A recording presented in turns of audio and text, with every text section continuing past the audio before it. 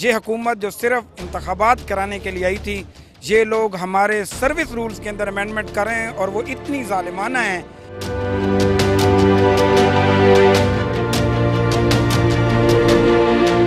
उन्होंने हमें इसके साथ उन्होंने हमें ये थ्रेट भी दिया कि आपको ट्रांसफ़र किया जाएगा आपको उठवा लिया जाएगा ये वो है। तो यकीन करें हम क्लासों में जाते हैं तो हमें रोना आता है। ऐसी हुकूमत जो कि कह लें कि चंद रोज़ की है, जो निगरान हुकूमत है, जिसको ये राइट नहीं दिया जाता। तालीमी निज़ाम को किस तरह की प्राइवेट कर, करें प्राइवेट जब ये करेंगे तो कौन, बच्चे कहाँ आएँगे स्कूल में?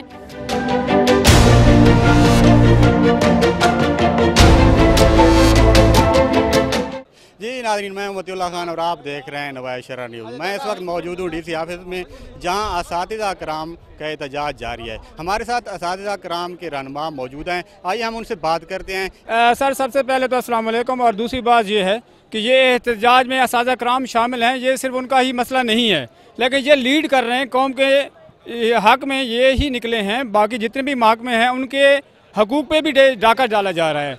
तो इस कराम की चूँकि मुलाजमीन में पंजाब के मुलाजमीन में सबसे ज़्यादा तादाद है और इसीलिए आपको ज़्यादातर इस कराम ही नज़र आ रहे हैं लेकिन दूसरे मार्ग में अगीगा और ऐप का और ये दूसरे मार्ग में भी शामिल हैं। तो लिहाजा ये सब तमाम पंजाब के मुलाजमीन का मसला है। किस प्लेटफार्म से हो रहा जी ये अगीगा का एक साजा का प्लेटफॉर्म है एपकाप का है और दूसरे बाकी तनजीमें भी इसमें शामिल हैं। जी। किस सिलसिला में ये एहतजाज हो रहा है? जी सबसे पहले उन्होंने जो एजुकेशन के अंदर लीव इनकैशमेंट का और उनकी पेंशन पे जो कज़न लगाई है तो ये सबसे ज़्यादा मुतासर होने वाले मुलाजमीन इस कराम ही हैं क्योंकि इनकी तादाद ज़्यादा है और ये मीडियोकर हैं। तो लिहाजा सबसे ज़्यादा जो नुकसान हो रहा है इन्हीं का हो रहा है इन्हीं के स्कूल प्राइवेटाइज हो रहे हैं और इसी सिलसिले में ये इस कराम ज़्यादा एक्टिवेट हो चुके हैं क्योंकि ये मुआशरे की करीम है। जब करीम एक्टिवेट होगी तो सिविल सोसाइटी को चाहिए कि वो भी साथ हैं हमारा साथ दे। हमारे मुतालबात जो है, हमारे जायज़ मुतालबात हैं। हम कोई ला कानूनीत नहीं कर रहे हम पुरमन जलूस में आते हैं और पुरमन होकर बैठते हैं। हमारे मुतालबात यही हैं कि हमारे स्कूल को निजकारी में ना दिया जाए, प्राइवेट ना किया जाए, हमारे कायदीन को आज़ाद करें। और इसके अलावा जो है तो हमारे, हमें ये कहा गया है कि हम आपको ट्रांसफ़र आपके किए जाएँगे। हमारे कायदीन जो कहेंगे, हम तो वही करेंगे। इन हम अपने कायदीन अगर आपके कायदीन को रिहा ना किया गया तो आपका लायामल अगला लायामल क्या होगा? तो अगला लायामल हम इधर ही हैं। इधर अंदर नहीं बैठने देंगे रोड पे बैठेंगे। स्कूलों की तालाबंदी जारी रहेगी। जब तक हमारे कायदीन को रिहा नहीं करेंगे जब तक हमारे मुतालबात नहीं मानेंगे जब तक एक गरीब बच्चों के स्कूल जारी ख़त्म नहीं करेंगे हमें जब तक पूरा एक नोटिफिकेशन जारी नहीं करेंगे, तब तक हम पीछे नहीं हटेंगे। चाहे जो भी होता है होता रहे। क्योंकि हमारे कायदीन है, वो हाँ। जी, अभी हमारी डीसी साहब से मीटिंग थी, उसमें उन्होंने हमारे तक दो तीन पैगाम पहुँचाए हैं। एक तो ये है कि आप स्कूल ओपन करें। ये जो एहतजाज आपका स्ट्राइक है, वो उसके बाद किया करें। स्कूल क्यों क्लोज़ हैं? तो स्कूल क्लोज़ भी हमारा उनसे सवाल है कि हमें मजबूर किसने किया है? हम तो पिछले छः महीने से उनको कह रहे हैं बार बार कह रहे हैं। जब हमारा नहीं सुना गया, हमारे कायदीन को वहाँ पे गिरफ़्तार किया गया लाहौर में तो हम मजबूरन निकले हैं। किसी का दिल नहीं करता। हमारे बच्चे हैं स्कूलों में, हमारा अपना दिल करता है कि हम स्कूलों में उनको पढ़ाएँ। हमारे बच्चे बेचारे गरीब के बच्चे हैं। लेकिन अब हमें मजबूर कर दिया है, हमारे पास कोई रास्ता नहीं है।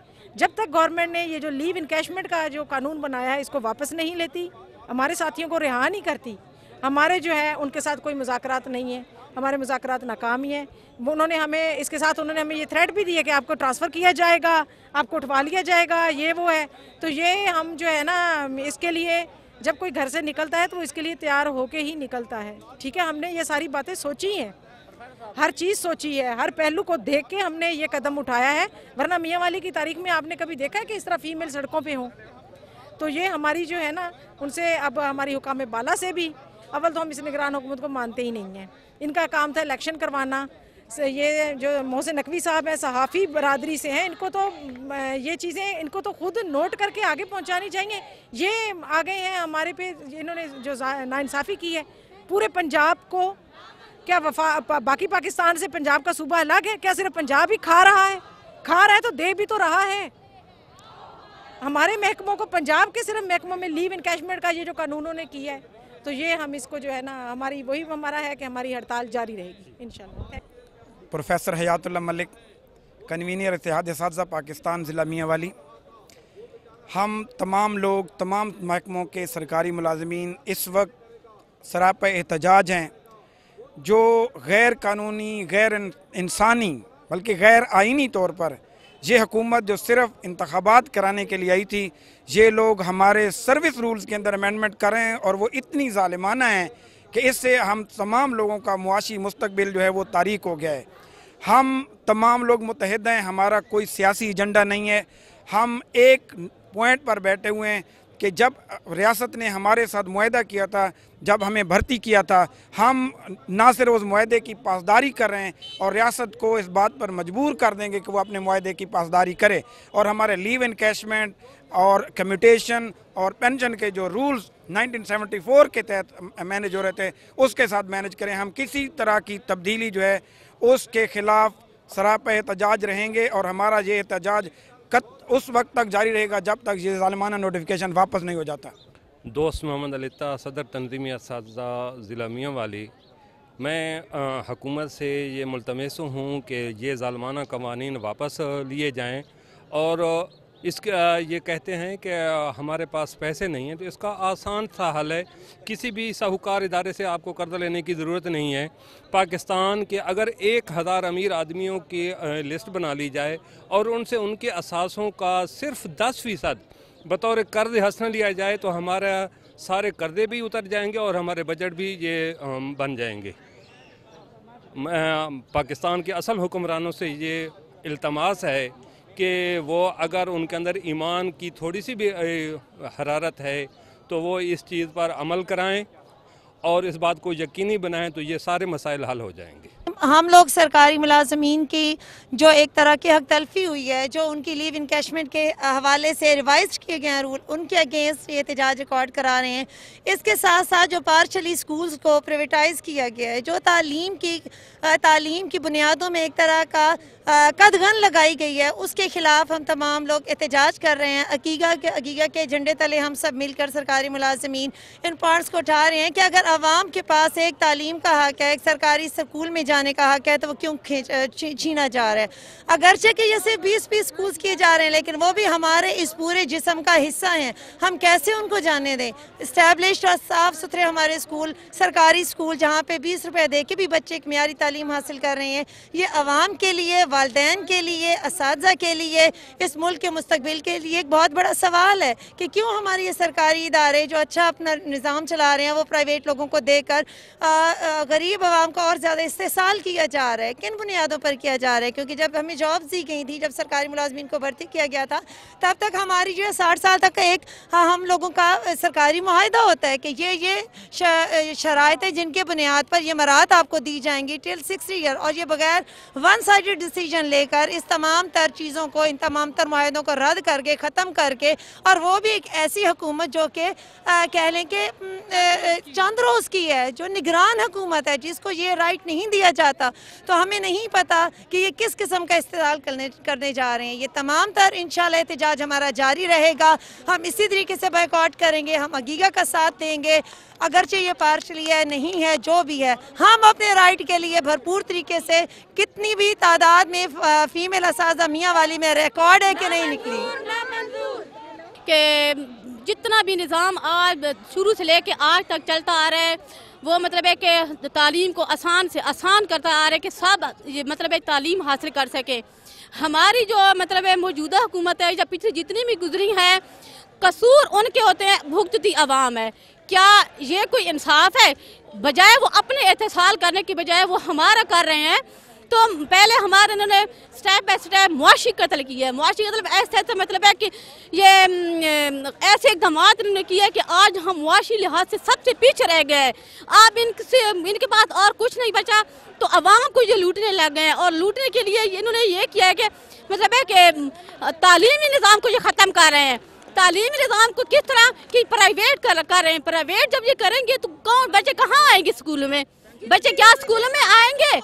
तो आप बच्चे बिल्कुल भी स्कूल आएँगे वो स्कूल छोड़ देंगे। जहरी बात है इंतहाई पसमानदा इलाका होने के बावजूद वहाँ पे गवर्नमेंट स्कूल है और हम गवर्नमेंट स्कूल के टीचर्स हैं और इंतहाई शानदार रिज़ल्ट हमारे बच्चों ने दिए है। अब ऐसे इलाके में जहाँ पे बच्चे बीस रुपये फ़ीस भी अफोर्ड नहीं कर सकते, इन लोगों ने वहाँ पे प्राइवेटाइजेशन शुरू कर दिया है।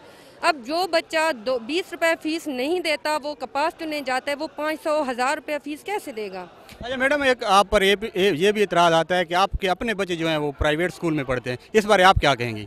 नहीं, अल्हम्दुलिल्लाह, हमारे स्टाफ के जितने भी टीचर्स के बच्चे हैं, वो सारे गवर्नमेंट स्कूलों में पढ़ रहे हैं।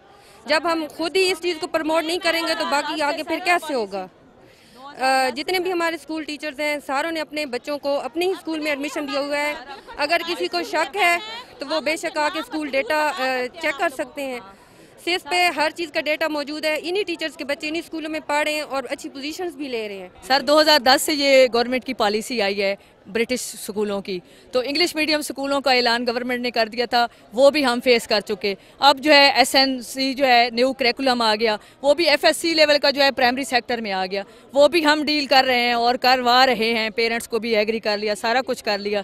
जब सारे मुतालबात और सारा कुछ उनका जुल्म हमारे ऊपर जो वो गिरा रहे हैं, हमने वो पूरा कर दिया। तो अब रही से कसर जो है हमें घर जाते हुए ये भी अब दे रहे हैं कि हर चीज़ पर हमारी पे डाका डाला जा रहा है और हमें बतौर मौलम भी नहीं समझा रहा जा रहा। अब हिटलर का आप देख लें को, कि उनके पास जब जब जंग अजीम दोम में, जब उनके पास गए कि जंग अजीम दोम में हमारे अजीम लोग मारे जा रहे हैं। आपके जो इम्तहानात में जो बच्चों के रिज़ल्ट तो मायूस कन होते हैं? उस बारे आप क्या कहती हैं? ये भी गवर्नमेंट का कौन सर नहीं होते? वो सारी वजह ये है कि गुर्बत का शिकार लोग हैं। उनके ना पास कोई होमवर्क के लिए नोटबुक्स होती हैं, कुछ भी नहीं होता। ना उनका प्रॉपर तरीके से यूनिफॉर्म होता है। हमें फंडिंग भी महदूद तरीके से की जाती है।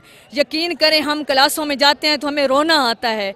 हम जो ज़िंदगी गुजार रहे हैं, वो हमें पता है कि हम कैसे मेहमारान कौम हैं और हम जैसे शजर को वो काट रहे हैं। कि भाई ये हमारे अगजार की साजिश है। अगजार को मतलब है कि उन्हीं के असूल और उन्हीं के नक्शे कदम पे चल के इन्होंने पहले हमें मुआशी तौर पे कमज़ोर किया है। अब जहरी बात है तालीमी लिहाज से ये हमें कमज़ोर करके ये तो जहरी बात हमारा मुल्क दिवाली हो जाएगा पीछे चले जाएगा उनका गुलाम बन जाएगा दूसरे मुल्कों का गैरों का गुलाम बन जाएगा।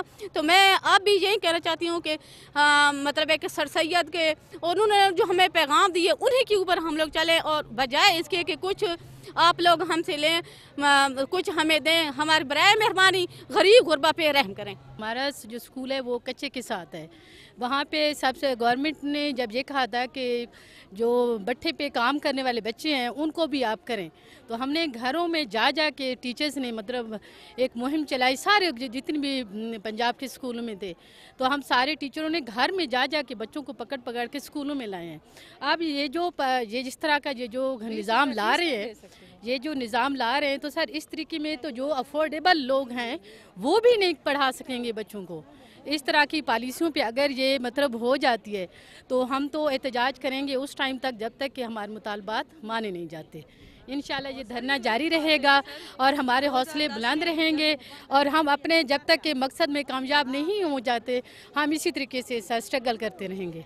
जी, नाजरीन, आपने इस की बातें सुनी है। इसमें मेल फीमेल टीचर तमाम मौजूद थे। इनका ये कहना है कि हमारे जायज़ मुतालबात हैं, जो कि इस वक्त गवर्नमेंट ऑफ़ पंजाब हम पर जुल्म कर रही है, लीव इन कैशमेंट जैसे जो कवानीन पास कर रही है, इनको फिलफोर वापस लिया जाए। अगर इनको वापस ना किया गया, या जो हमारे कैदीन पाबंद सलासल हैं, उनको ना छोड़ा गया तो हम ये जो एहतजाज का जो दायरा कार है, इसको मज़ीद बढ़ाएँगे और हम रोडों पर आएँगे।